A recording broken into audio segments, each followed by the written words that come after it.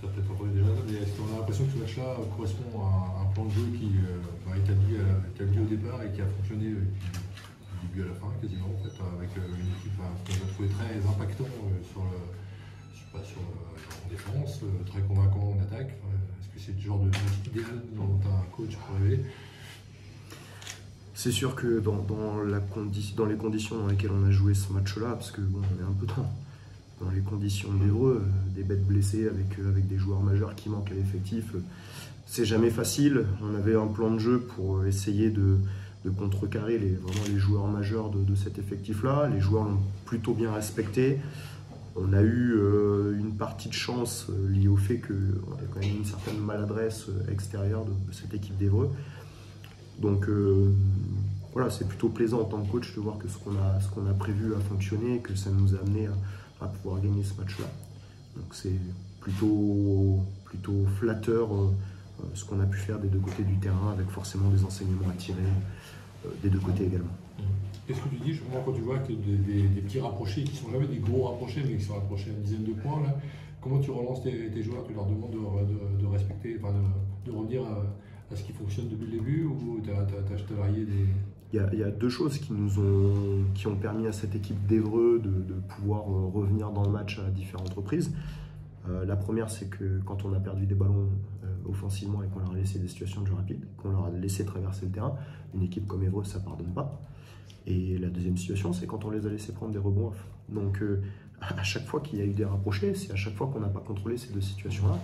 Donc, il a fallu réavertir les joueurs, dire attention les mecs, on n'a plus aucun contrôle offensif. Euh, on va trop loin dans nos actions, on utilise trop le dribble, on n'est plus en train de partager, il faut qu'on revienne sur nos fondamentaux. Et puis défensivement, il faut qu'on soit concentré. Je disais qu'il y avait des, axes d'amélioration des deux côtés, mais défensivement, euh, on, fait une partie qui est, correcte, mais il, y a, trop d'erreurs de concentration euh, sur, les, rebonds off, on doit savoir face à qui on joue. Quand la balle voyage et j'étais en aide, je reprends un joueur, je dois savoir quelle est sa force. Est-ce que c'est un fort shooter? Et dans ce cas-là, je dois revenir sur lui fort pour l'objet à poser la balle au sol. Est-ce que c'est un joueur qui est beaucoup plus athlétique que moi? Dans ce cas-là, il va falloir que je rentre avec un peu plus de contrôle. Euh, quand je, défends sur Brabatch, je sais qu'il va aller sur sa main gauche.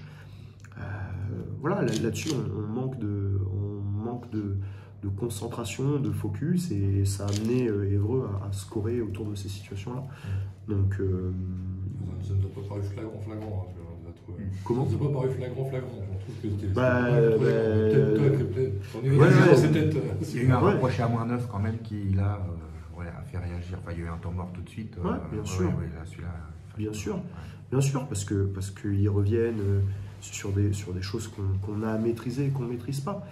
Donc, donc voilà, avec un peu d'adresse, mais, mais c'est surtout que nous, offensivement, on ne contrôle plus le rythme du match, on fait n'importe quoi. Donc euh, ça peut paraître euh, suspect quand je dis ça alors qu'on met 89 points, mais, c'est pas suspect du tout parce que, mm. parce que, parce que on, doit. On perd 10 ballons, mais, mais c'est 10 ballons qu'on donne. quoi. C'est trop pour, pour ce qu'on a fait ce soir. Beaucoup trop. Beaucoup trop. On va parler un petit peu de Santos avec. Euh, C'est une belle toile. Hein. C'est un athlétiquement, il est impressionnant. Je ne sais pas quel poste il jouait en, en foot américain, mais euh, un peut-être Ouais, ouais, il joue, il joue un peu tous les postes en, foot américain. Euh, bon, c'est un joueur, euh, très sincèrement, si on n'avait pas eu de problématique financière qu'on n'aurait pas trouvé, parce qu'on n'aurait pas cherché un joueur à ce tarif-là, ah euh, on aurait cherché des joueurs avec, avec un peu plus d'argent. En l'occurrence, on n'en avait pas. Donc, donc, donc j'ai vu plus de 70 joueurs et en l'occurrence, c'est celui qui m'a le plus convaincu ce soir, je peux, ouais, je peux, je peux que me féliciter de, ce choix qu'on a fait. Et, euh, euh, au-delà de ce qu'il apporte euh, statistiquement, c'est aussi toute l'énergie qu'il peut apporter, c'est la façon dont il connaît le basket, sa, façon de véhiculer des, bons messages à ses coéquipiers. Donc c'est une belle personne et un, bon joueur et, l'équipe a, compris, mais s'est mis à son service quand on voit Marcos Soukaoumou qui, met deux points ce soir. Euh, d'ailleurs, deux points. Voilà.